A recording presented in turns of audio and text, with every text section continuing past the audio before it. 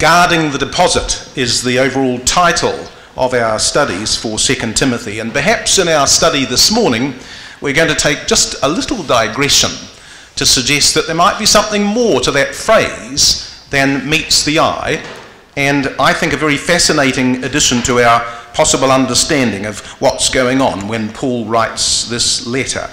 So, uh, as has been indicated, we're going to take a section from the fourth chapter this morning for our study, the second of Timothy, chapter 4, and verses 1 to 8, under this title of Preach the Word. And of course, the thing is, brothers and sisters, is that this epistle is going to be written, of course, for this young man from Lystra that Paul had met so many years before, that young brother well reported of by his ecclesia, even from the earliest of times. The young man that Paul had been led to by prophetic insight and who had appointed him to the work of the truth. And there's something, I think, very encouraging about this thought because we seem to derive from the biblical record the idea that Timothy was firstly young, secondly, that he was somewhat retiring, and thirdly, is that he perhaps was not physically robust.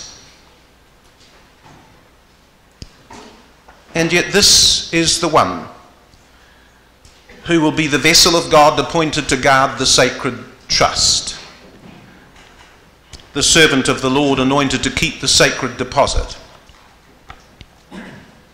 All goes to show, you see, brothers and sisters, it's got nothing to do with our outward appearance or our physical strength it's all to do with the light of the truth that burns inside of us that counts. So, what do you say, brothers and sisters, when you come to the last chapter of your last letter? What do you write? Well, the second of Timothy, chapter 4, and verse 1, will open with these words I charge thee therefore, before God. And now we come, as it were, to the climax of the whole letter, the charge. I charge thee before God. Rotherham says, I adjure thee. Weymouth says, I solemnly implore you. And so solemn was that plea, so important was that charge, that Paul says that he makes it, I charge thee, he says, before God and the Lord Jesus Christ. So he called upon his God and his Lord to hear the task he now laid upon his own son in the faith. I charge thee, says Paul, as a father to a son, before the Father and the Son in heaven the majesty on high and the heir of all things, who together see all and know all and watch all, I call upon them to witness to this charge that I give thee this day.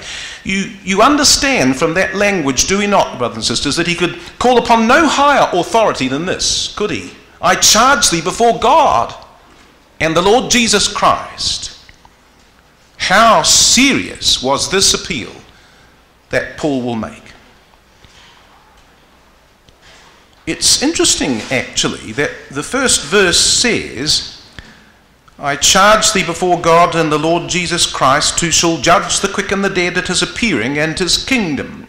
And that phrase, who shall judge the quick and the dead at his appearing and his kingdom, I'm going to suggest to you that I, I, think it was part of an early statement of faith that was already in circulation amongst the believers at this time.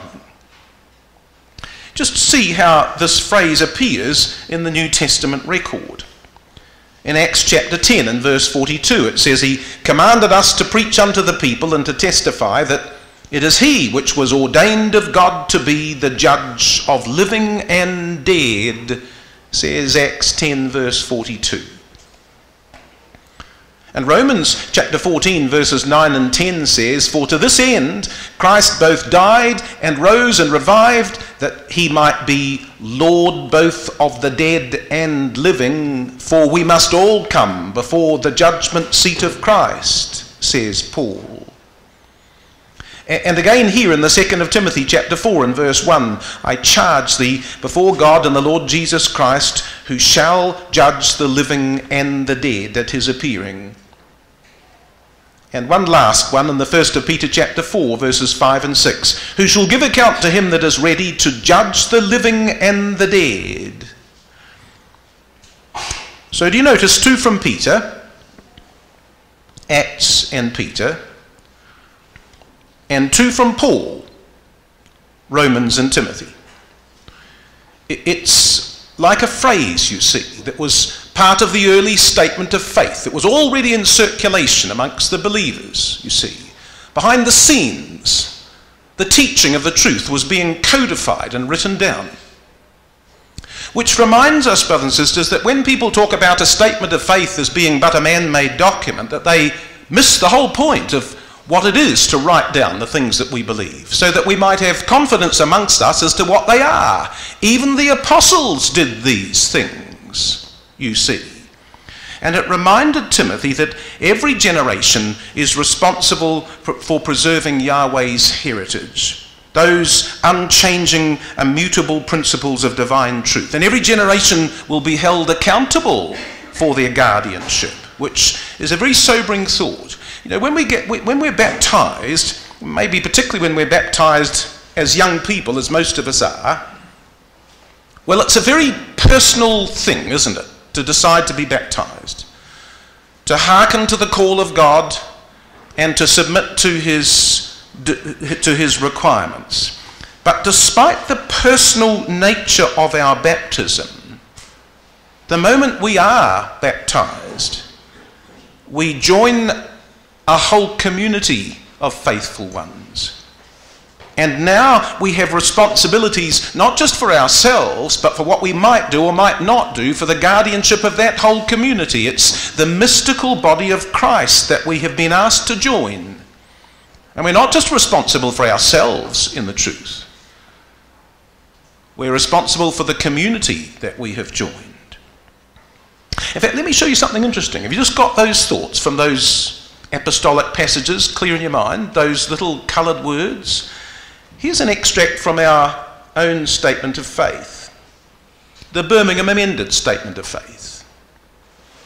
It's one of the clauses in our statement of faith. But notice the key words the appearing of Christ, the kingdom, the dead and the living, who will be judged.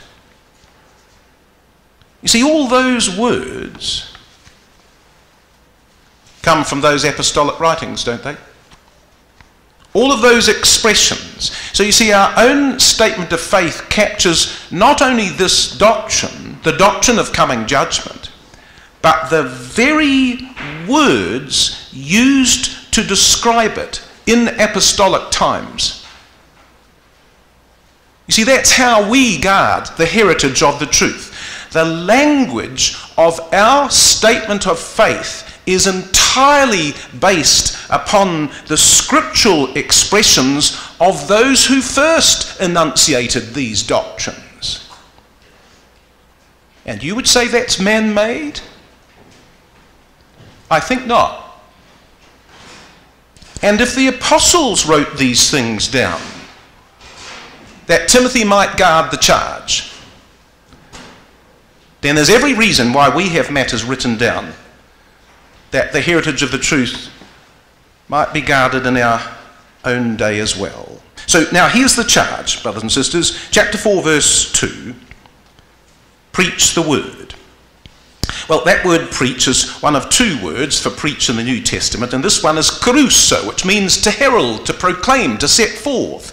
It's used in conjunction with the word for gospel, evangelion, many times. Kerusso evangelion, to preach the gospel. Uh, but you notice that actually Paul doesn't say here, preach the gospel. No, he says, preach the word. In fact, this is the only place where the phrase kerusso logos is used. Preach the word is actually what Paul asked Timothy to do. Now, that term is not so much about gospel proclamation, although that could be included.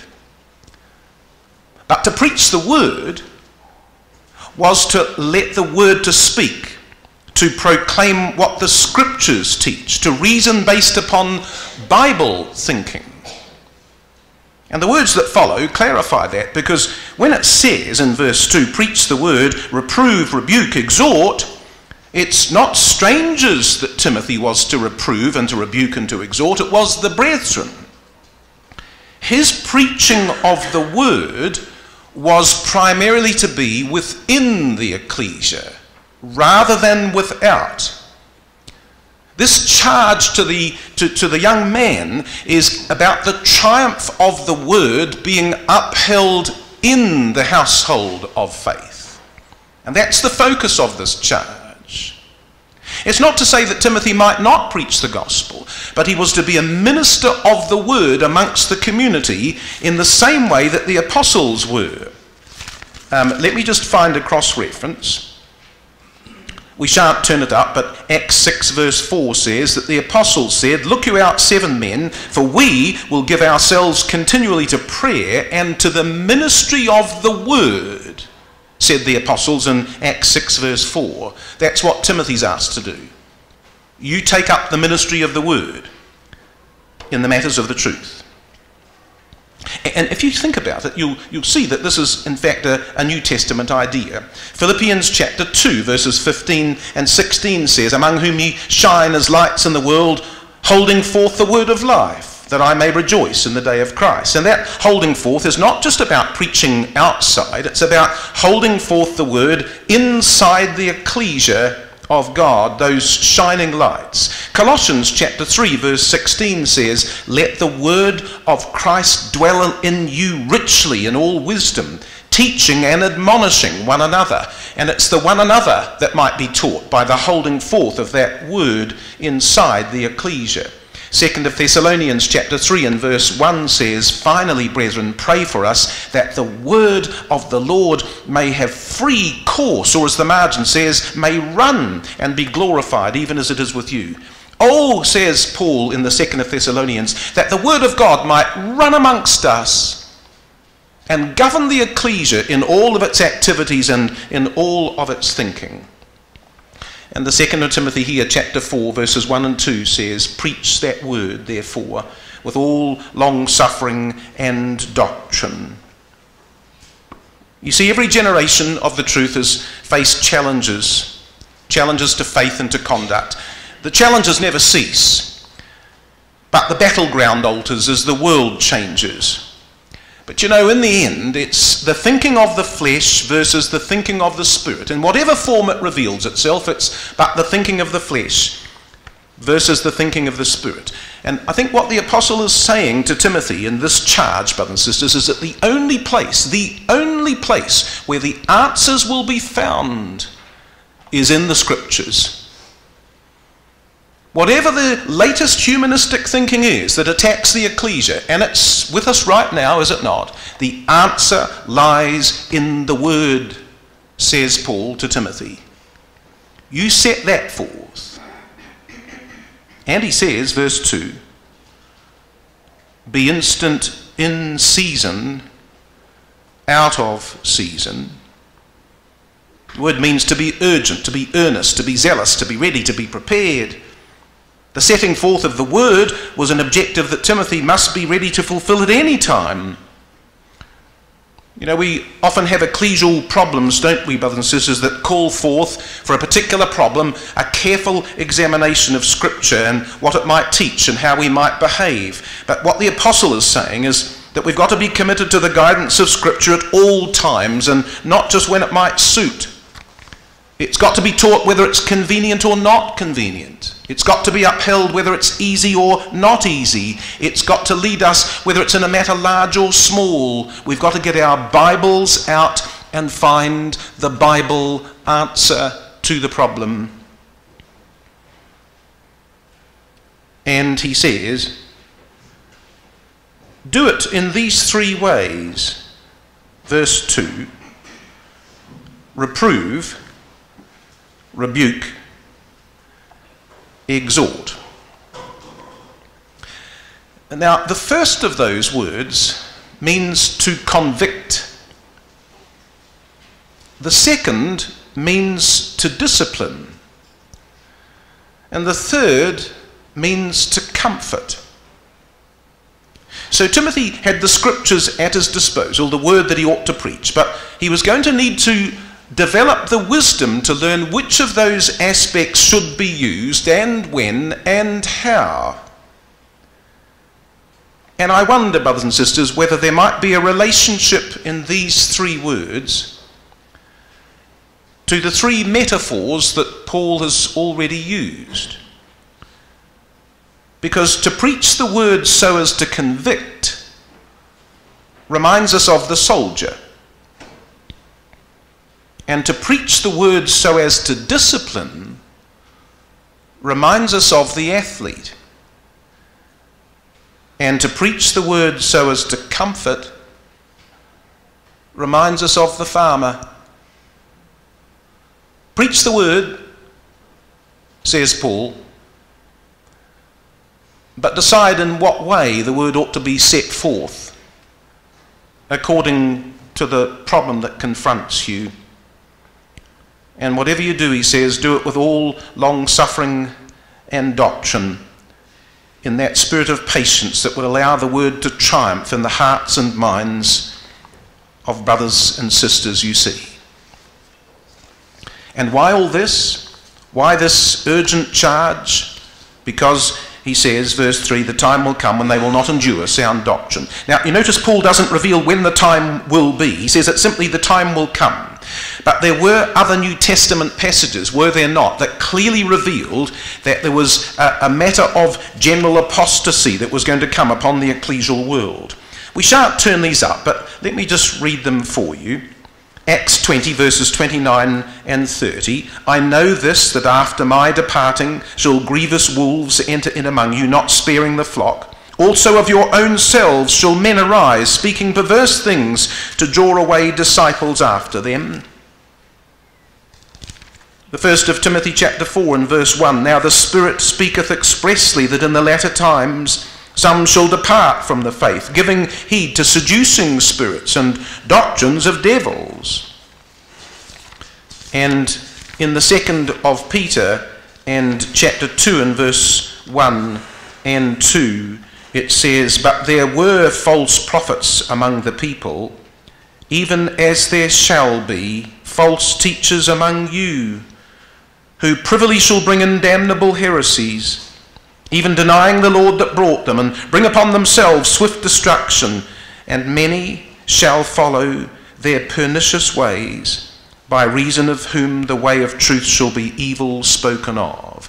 And you see, I think what Paul is saying in this passage in the second of Timothy and chapter 4, verse 3, is that this time is coming, and you don't have much time, Timothy, to build the ecclesial world on the foundation of scriptural reasoning that will be so important. There's not much time, he says.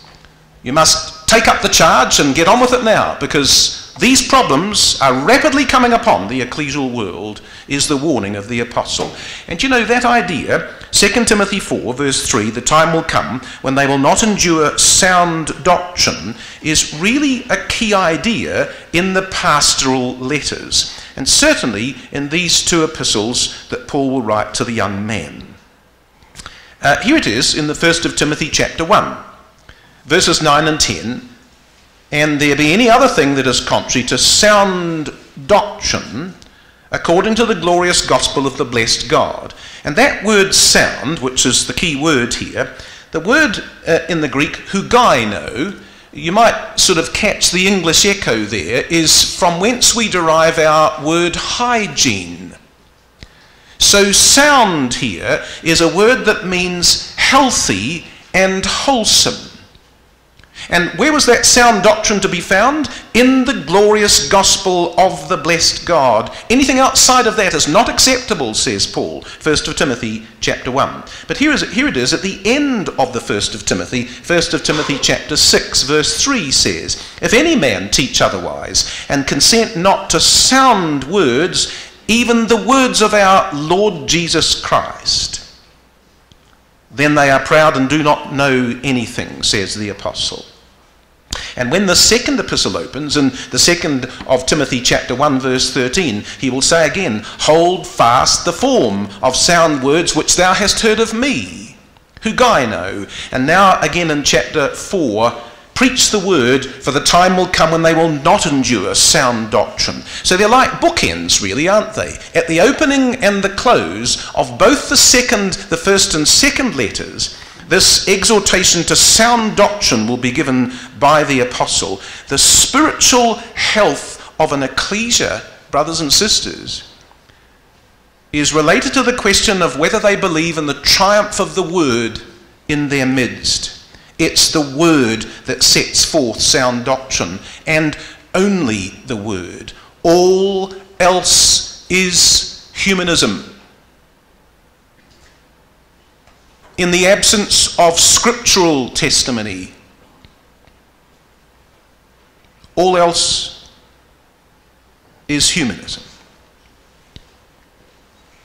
And the apostle says, It's coming upon you now, Timothy because he says, verse 3, they will, after their own lusts, heap to themselves teachers having itching ears.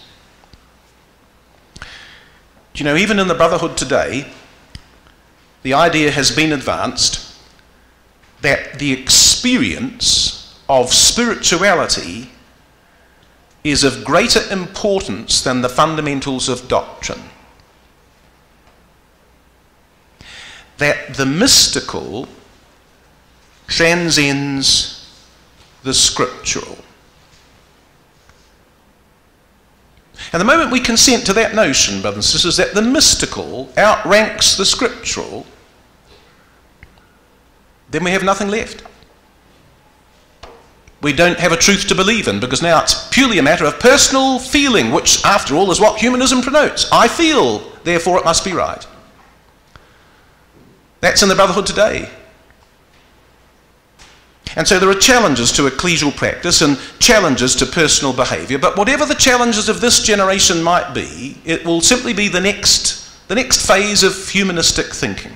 Get back to the word, says Paul. And by the way, notice that it's not the teachers who've got itching ears. There's a comma there. They shall heap to themselves teachers, comma, having itching ears, but the itching ears belong to the hearers, not the teachers. So the Revised Standard Version says, having itching ears, they will accumulate for themselves teachers to suit their own likings. It sort of reminds you of that time, does it not, brothers and sisters, on Mars Hill, when it says of the Athenians, the record says, for the, all the Athenians spent their time in nothing else but either to tell or to hear some new thing. And that danger can afflict the brotherhood, brothers and sisters, that we have those who are stimulated by the new, by the different, by the novel. Let's think a different way. Let's put this a different way. Now, it's not to say that new things can't be discovered and that different things can't be appreciated. But sometimes there can be a love of different things, so that that which once was commonly believed is set aside as of no value. Guard against that says Paul. In fact, he says, verse 4, they shall turn away their ears from the truth unto fables. Ah, so the phrase does relate to believers. It's all about believers, isn't it? They turn from the truth unto fables. Since the Garden of Eden, brothers and sisters, man has always expressed a dissatisfaction with the divine arrangements since the beginning of time, man always wants to do it just a little bit different to what God has asked. It's ever been so, brothers and sisters. It's part of our nature. And so, how vital that Timothy be able to set forth sound doctrine as he preached the word. And, well, here's our little digression for today. I, am tempted, brothers and sisters, sorely tempted, because I think there's perhaps a, a, another aspect of the second of Timothy as to how that sound doctrine might be set forth by Timothy and how he might guard the deposit in order to do so. Now, it's related to the charge that we've already looked at. Come back just quickly to the, um, where was that passage in Deuteronomy where, where Moses passes on the charge? It was in Deuteronomy chapter 31. You might remember this. He passes on the charge to Joshua but I just draw your attention to one other verse in that passage. Deuteronomy chapter 31 says this, verse 23. It says, He gave Joshua the son of Nun a charge and said, Be strong and of good courage, for thou shalt bring the children of Israel into the land which I swear unto them, and I will be with thee. And it came to pass, when Moses had made an end of all these things, he wrote the words of this law in a book now, that book was given to the Levites, but do you think Joshua had access to that book for counsel and advice? Absolutely. And when we come to the book of Joshua, you'll find certain clues in the book of Joshua that Joshua is following what was told in the book. Joshua is observing the counsel of the book, and that part of the charge that was given to Joshua that the truth might be preserved was that he was given a document. There was a documentary charge that he received so that the truth might be guarded according to the law of Moses. Now, do you remember the charge from David to Solomon? It was in the first of Chronicles, chapter 28. Come and have a look at it again, because here's another little connection you see. In the first of Chronicles, chapter 28, when that charge was passed from father to son, uh, just notice first of Chronicles 28, verse 11. Then David gave to Solomon his son the pattern of the porch, and of the houses thereof, and of the treasuries thereof, and of the upper chambers thereof, and of the inner parlours thereof, and of the place of the mercy seat, and the pattern of all that he had by the Spirit, of the courts, and of the chambers, of the treasuries, of the treasuries, of the courses, of the priests, and the work of the service. He had the pattern of it all, brothers and sisters. And then it says this, verse 19 All this said David, Yahweh made me understand in writing by his hand upon me, even all the works of this pattern. And David said to Solomon his son, Be strong. And I think that part of the charge that David gave to Solomon was a book, the documentary evidence of what should be done and how the truth of the worship of God and that temple to be built might be properly guarded. And Solomon received that book as part of the sacred charge that he received from David. And you see, Paul realized, brothers and sisters, that when he passed off the scene, when all the apostles were dead, that there was a danger. Come back to the second of Timothy, and let's just notice another phrase from the first chapter. The second of Timothy, chapter 1, you see, had put it this way, and what we're suggesting is that there might be something hidden here beyond what meets the eye. Second of Timothy, chapter 1 says, verse 14, that good thing which was committed unto thee keep. Now, that word committed, brothers and sisters, means a deposit,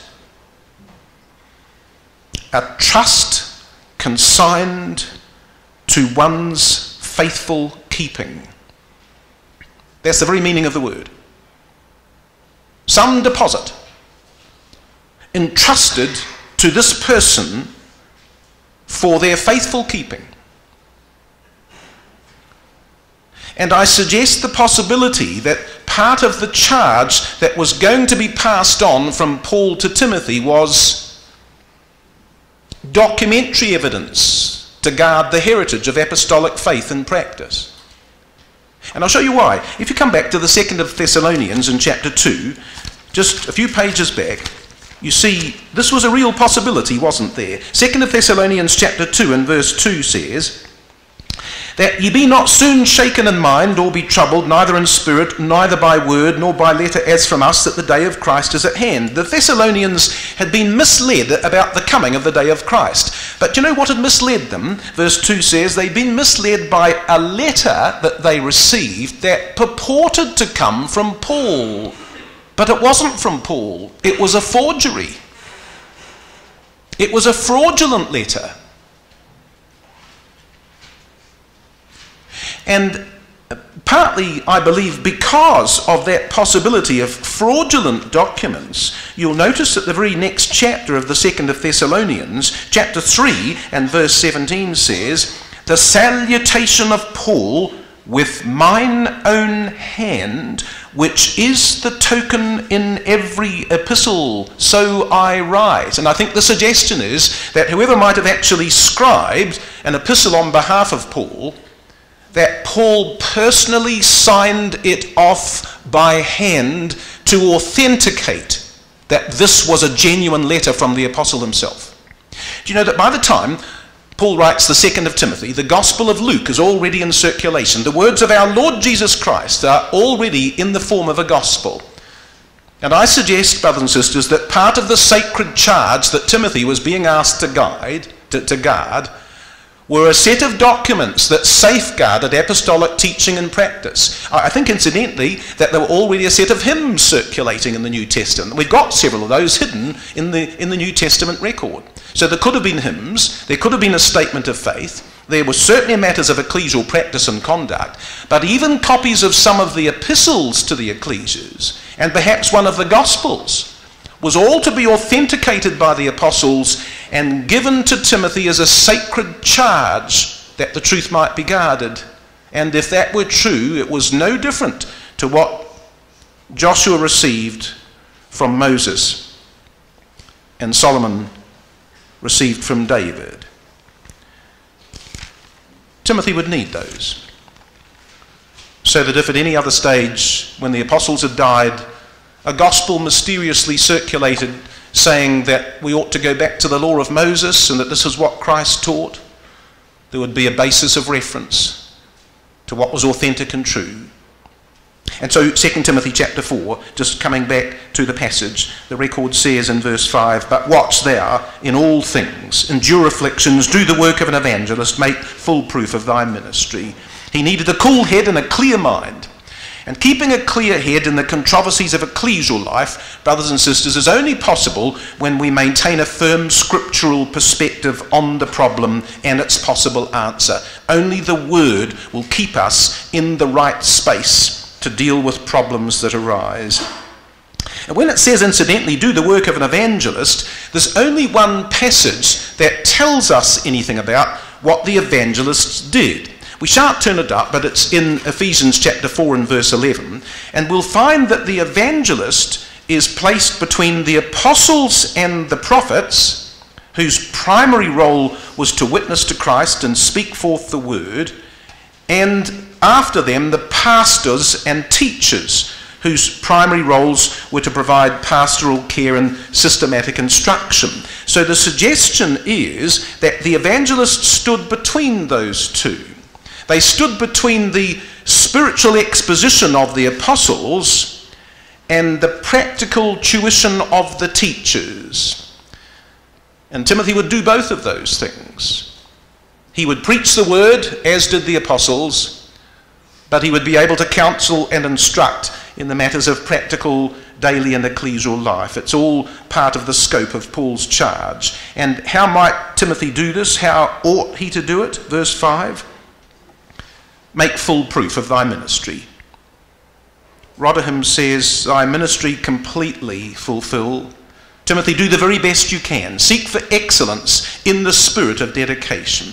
Well, that challenge applies to us all, brothers and sisters, does it not? Seeking to fulfill our ministry in the truth and to do it as best as we can. So here's a couple of questions again for our study this morning in terms of making full proof.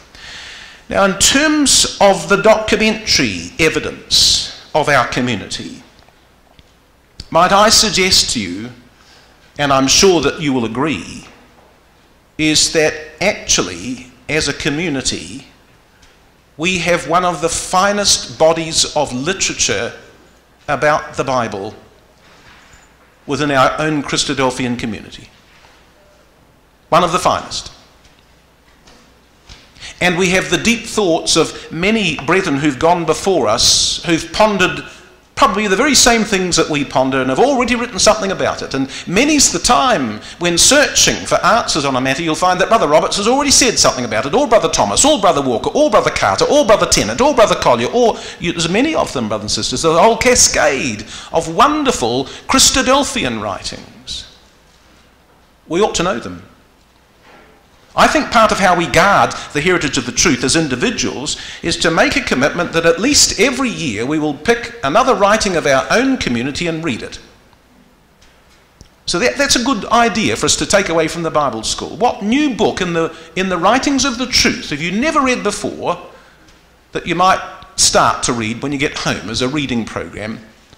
30 minutes a day, somewhere in your day, to pick up a work of the truth that you've never read and enrich yourself. But you see, we don't just enrich ourselves in the ideas of the book, we enrich the heritage of the community that we belong to and we become more aware and conscious of that heritage that we already have.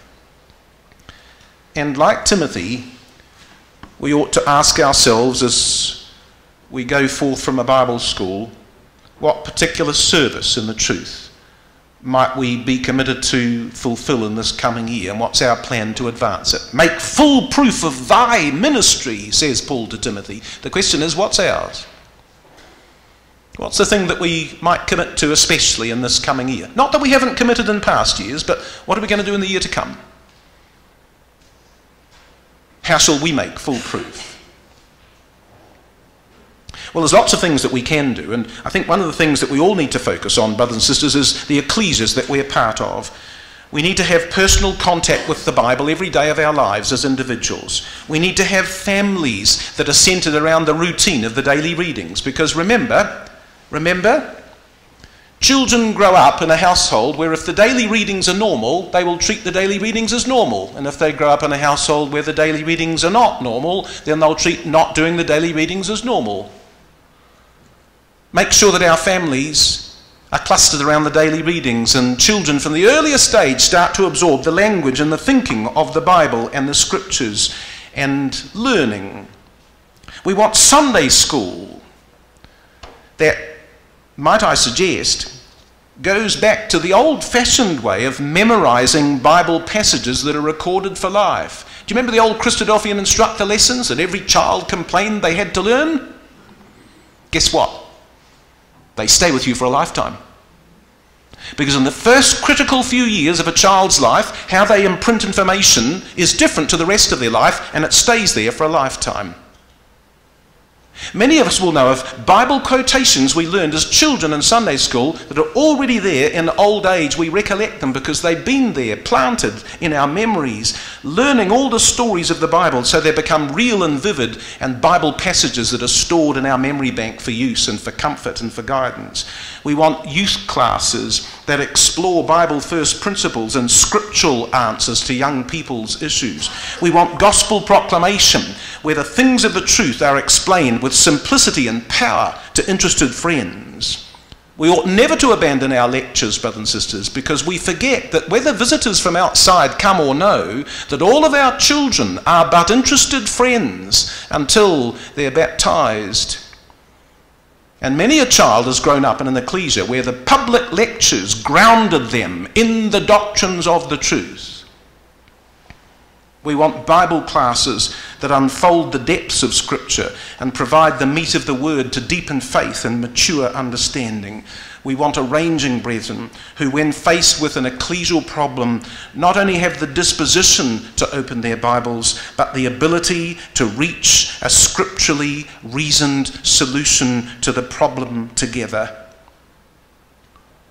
That's what we want in our ecclesias. Let's go back and do it, brothers and sisters, so that that the word might triumph in our community. Because only in the word are there the real answers. And why was all this so urgent? This charge.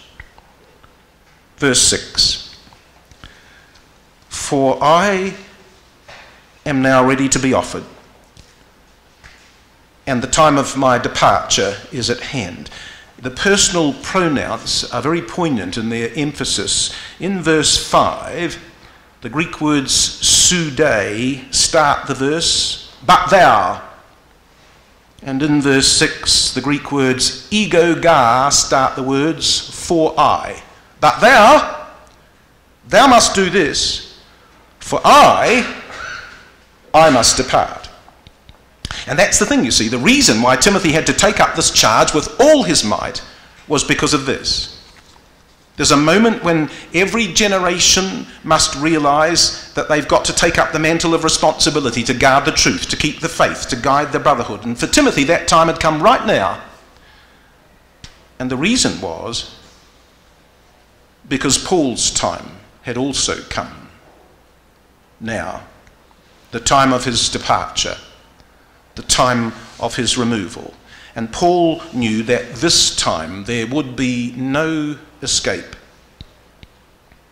He'd had to come to face the prospect of death and to be reconciled with it. You know, brothers and sisters, every saint of God reaches that moment in their lives. In Paul's case, of course, death was not to come because of age or illness or war or pestilence or famine. He was going to die because of judicial execution. He was about to die because he was a follower of Christ. He knew that it was near. And yet, the marvelous thing is that he saw it not so much as an end as a consummation. He accepted the finality of his position, but he'd already passed in mind beyond his death to the joy of the future. It was a marvelous example to Timothy of seeing beyond as he already tried to exhort him. Because, well, listen to how Rotherhams translates verse 6 that we might, that we might capture the spirit of Paul himself. So Rotherham says, For I already am being poured out as a drink offering, and the season of my release is at hand. The season of my release.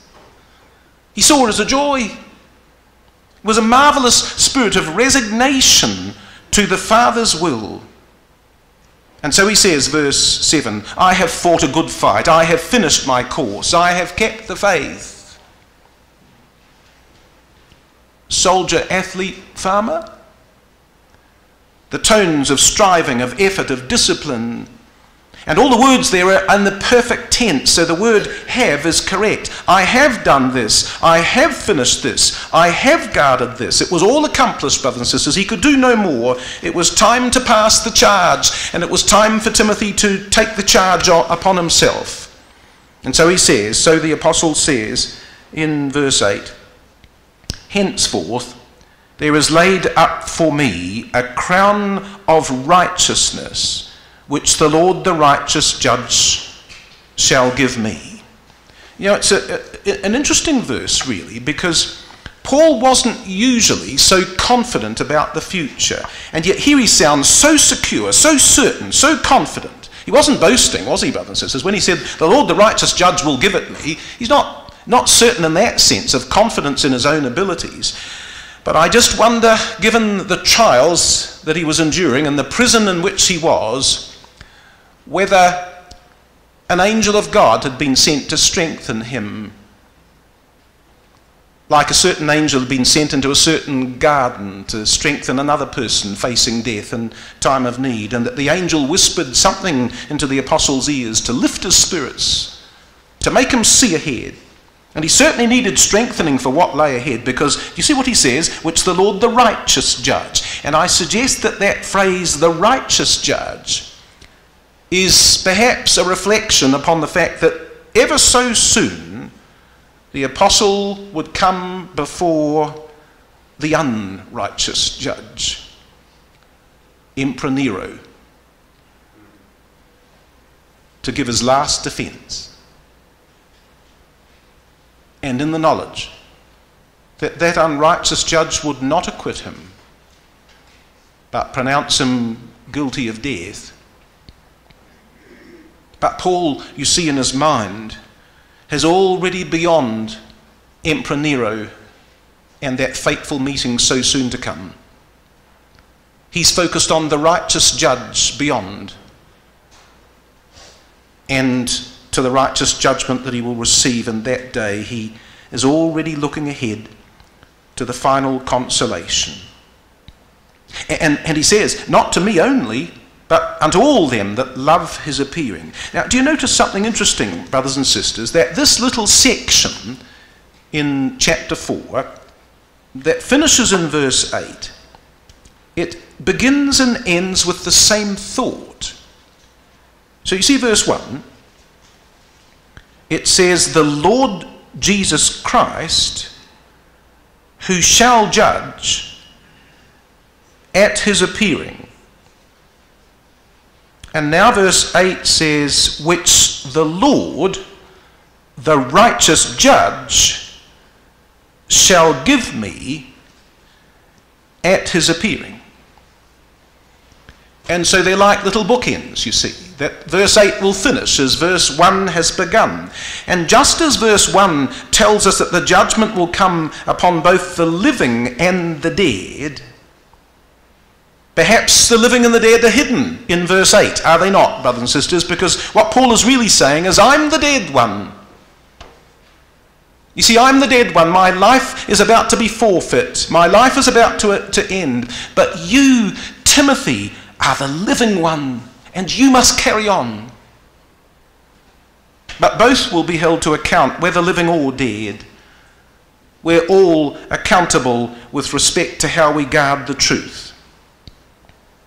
And the appearing of Christ will bring the day of judgment concerning not just our own life, but what we've done for the truth as a whole.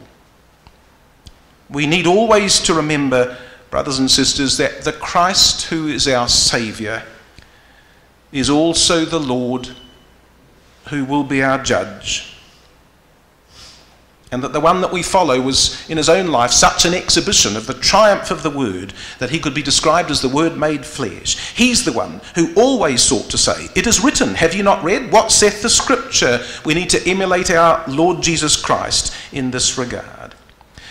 So let's make pledge, brothers and sisters, that the charge to hold the word aloft in all our dealings belongs to us as much as it ever did to Timothy, and that we will accept the responsibility for guarding those things for which others have died. In the words of a hymn, which puts it this way Be careful for nothing. The Lord is at hand. Remember the glory, remember the land. Be fervent in spirit, be instant in prayer. Work out your salvation with trembling and fear. Be pure in the doctrine, be strong in the word.